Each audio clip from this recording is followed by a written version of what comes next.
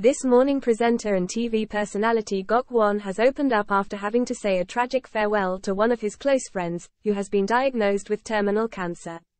Gok shared an update on Tuesday as he saw his beloved pal for the last time, as she prepared to return to Australia.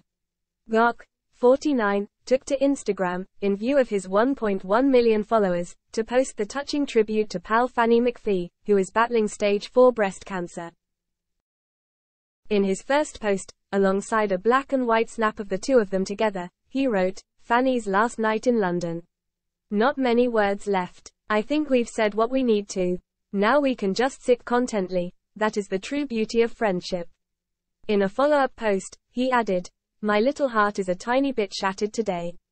Fanny is on her way back to Oz. We've had such a magical two months, time we never thought we'd have so thank you universe for making it happen. I know she has to go home to be with her amazing son and family, he continued. I'll miss the laughs and life reckoning.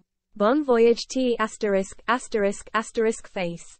Gok, who recently joined Michelle Visage, AJ Odudu and Charlotte Church to film an upcoming celebrity special of the new Wheel of Fortune reboot at Media City, also paid tribute to the late Sir Michael Gambon not long ago. Film titan Sir Michael, who was known for playing Professor Albus Dumbledore in six of the Harry Potter movies, died aged 82 last September. Fashion consultant Gok recalled that the late star was one of the biggest forces he had ever met.